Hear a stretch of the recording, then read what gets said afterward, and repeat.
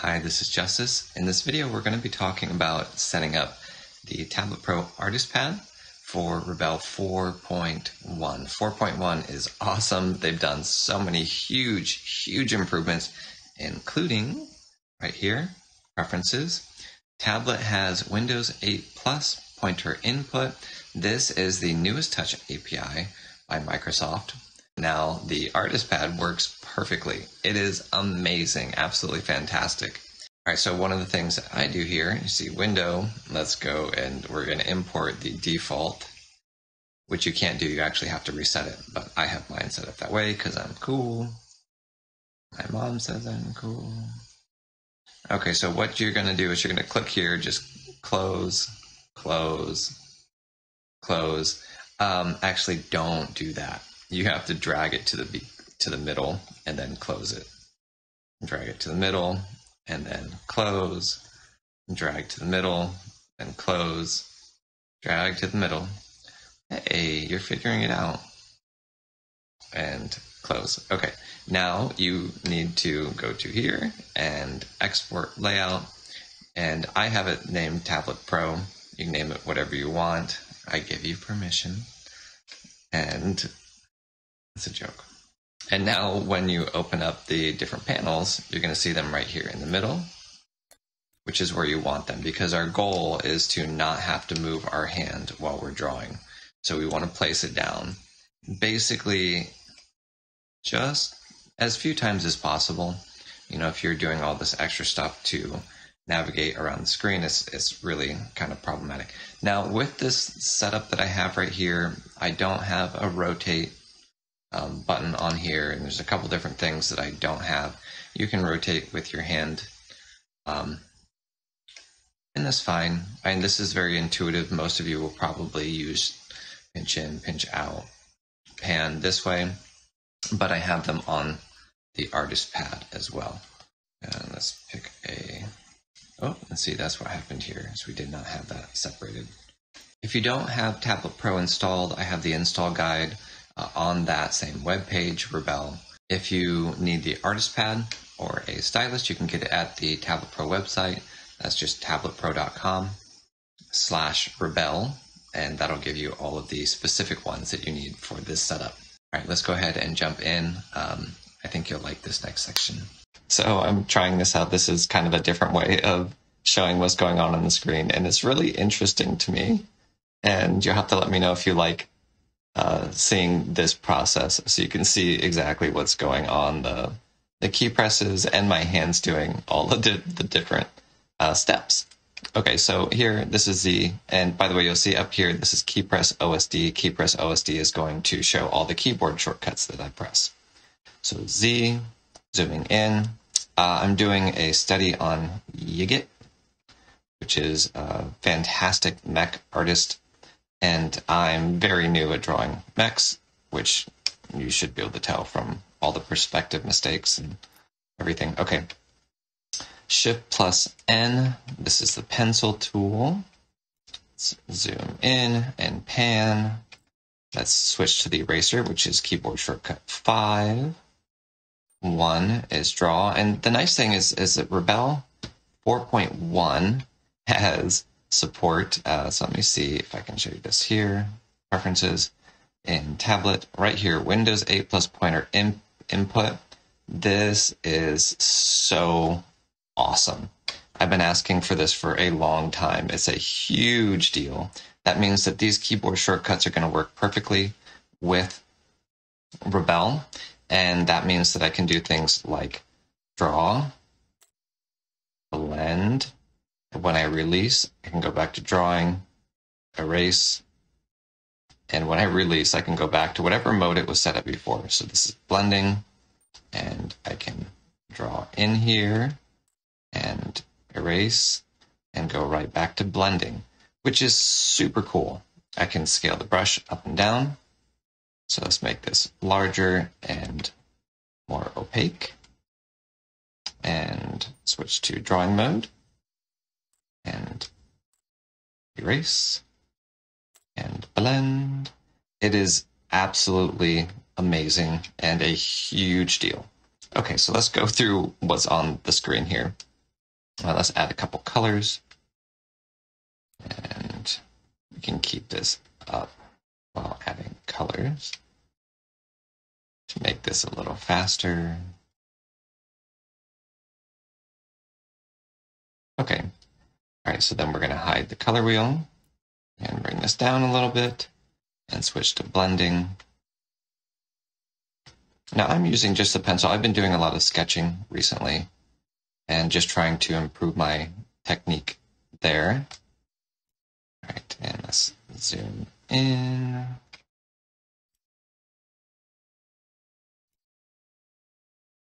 Okay, so you get the idea. So here is Shift plus O, and this is the oil brush. Now I have these set to some tools that I've been using that really just kind of highlight um, what I'm trying to accomplish with, with pencil as opposed to the Rebelle 4 software, but I will put a couple other things on here. This is Color Picker, and that's Blend. Oh, so lovely. And let's pick another color. Let's blend it and switch to three, or we can kind of go dynamically between those different modes. And let's pick something different, a flat bristly brush and erase. All right, and let's go to watercolor. And I think I actually took the water out of this one, so let's check. So we're gonna hide the brush palette and we're gonna open properties. And yep, I have water set very low, so let's bring that up. And we'll hide the properties window. Let's pan with space and you can see how the color is going to diffuse. Over here we have the blow tool. And again, because of the improvements they made in Rebelle, I can dynamically go, all right, blow tool and smudge tool. And I actually still have the watercolor brush selected, which is very cool. Okay, so up here, this is properties, brush creator, tools, and visual settings, we're going to put rewet really high because that's actually pretty fun to see. And close that. This is our tilt settings. We're going to turn tilt on and drag it down. You can see immediately how this plays a role. Turn it around. And this is just just the water, the wet paint moving around the screen. Okay, let's put it here and let's hide that.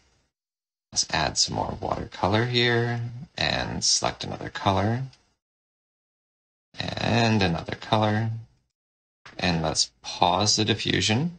Down here we have pause, we have dry. Um, dry is this one right here.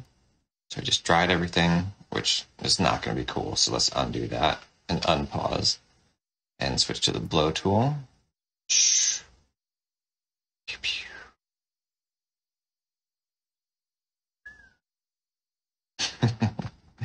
Yes, I'm a big dork. Okay, this is the dry tool. So we're going to dry a little bit here. Just show wet. You can see where I dried the area, the uh, the canvas, and let's blow paint into the dry area. And let's use some water. We're going to draw some water on the screen.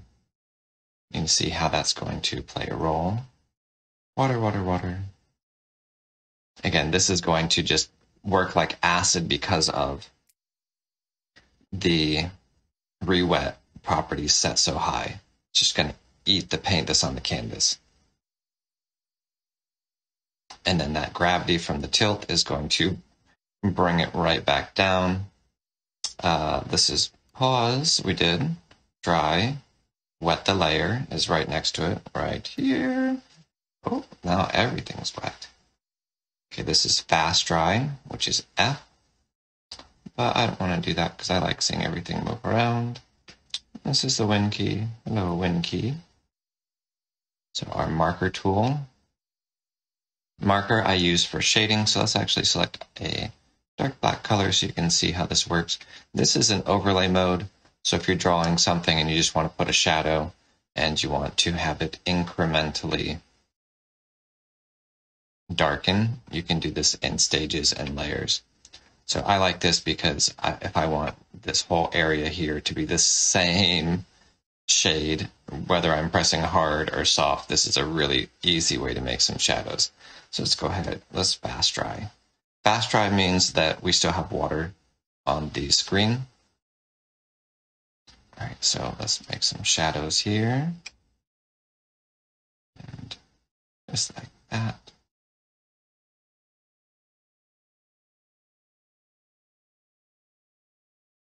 Kind of neat.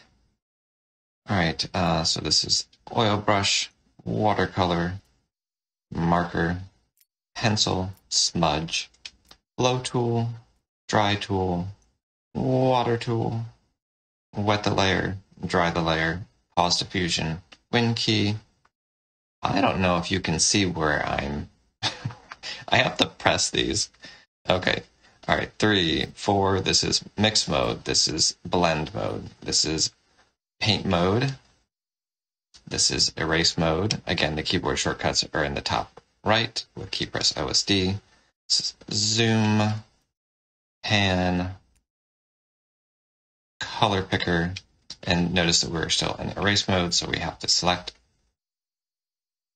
here, undo, redo I have actually quite a bit higher because I don't use it very often, and resize, and up and down opacity, and layers. And up here is the brush palette. This is the color set or swatch. This is the color picker or color panel. Undo. This is shift key, which you can see here.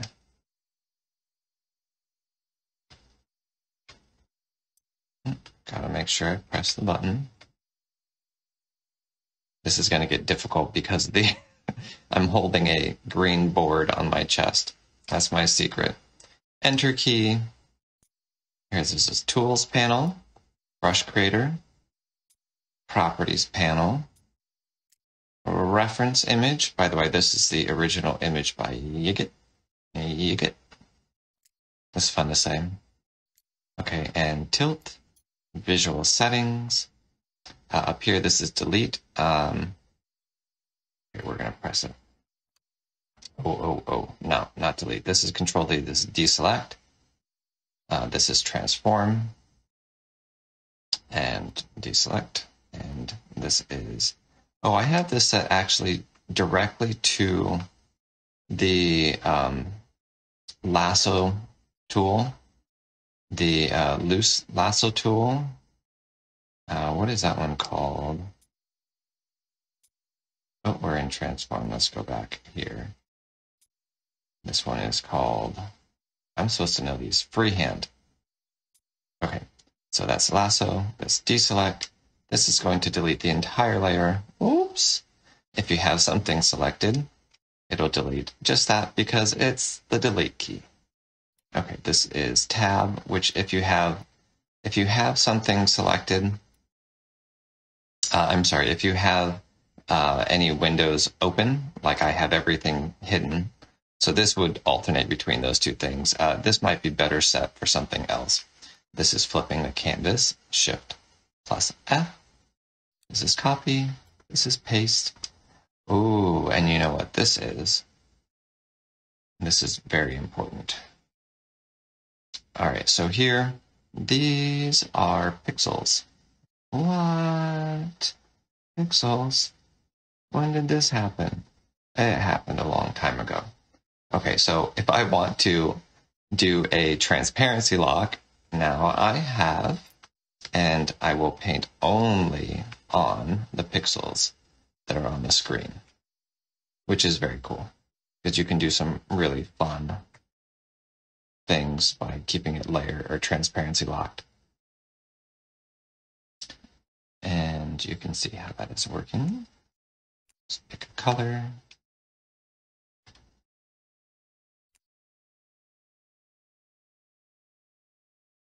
Oh yeah. Okay. Uh, up here, this is the keyboard. touch keyboard. Okay, so I have made a few adjustments since the beginning of this video. Uh, I did put a rotate in there. I moved four. Uh, actually, four is in the same spot. Three is right below. So we have the blend mode or mix mode. Uh, one is in the same spot. Um, I've added a smudge tool and actually created a, oh, let's actually push this here. All right, so we have a smudge tool. I made a blur brush, which you can find on the Rebelle, uh, tabletpro.com Rebelle page. And see, I moved some of these down. So blow is down, water tool is down, wet all is down a little further, and I've moved all the way to the top left corner, uh, show hide wet. All right, that's the changes. This whole thing is the Tablet Pro Artist Pad, which um, you probably know because I'm pretty sure I will mention it at the beginning of this video. Okay, this is the uh, right-click menu for the Tablet Pro Artist Pad. All right, I think that's everything here. Pretty cool. Pretty cool.